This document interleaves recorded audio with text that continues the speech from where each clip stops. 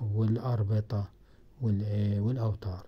لأن قلنا كل مفصل أي عظمتين مع بعض مثلا زي مثلا في ال في ال في اليد مثلا عندنا العضد فوق وتحتيه الساعد الاتنين مع بعضيهم بيكون لنا مفصل اللي هو المفصل الكوع عندنا بتاع الفخذ برضو عظمة الفخذ مع العظمة اللي تحتيها بتاعت الساق اللي هما الاتنين اللي هو الشظية والقصبة الاتنين فبيكونوا لنا مع بعضيهم مفصل اللي هو مفصل مفصل في عندنا مفصل الحوض فوق لكن اللي تحت بنسميه مفصل الركبة أو الركبي أو الركبة.